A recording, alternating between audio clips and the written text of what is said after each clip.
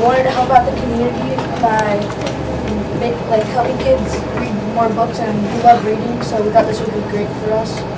And my mom read it in a magazine and that's how we got our idea.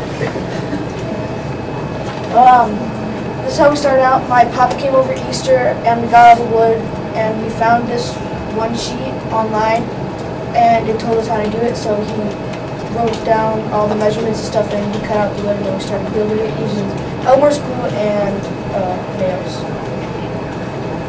In this picture, I am putting on the first coat of primer and uh, on the birdhouse, or on it.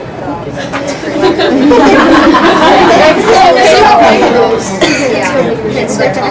Right here I'm using um,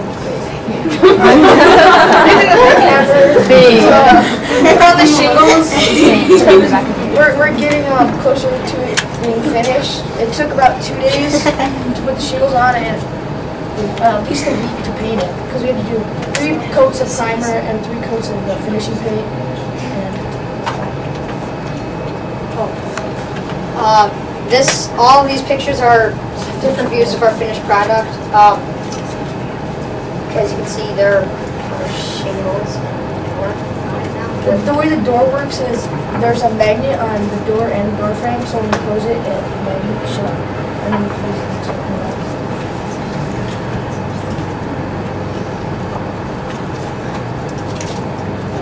Um, the challenges we faced were trying to get the wood burner to make like good letters uh, because it wasn't very like Did not work out.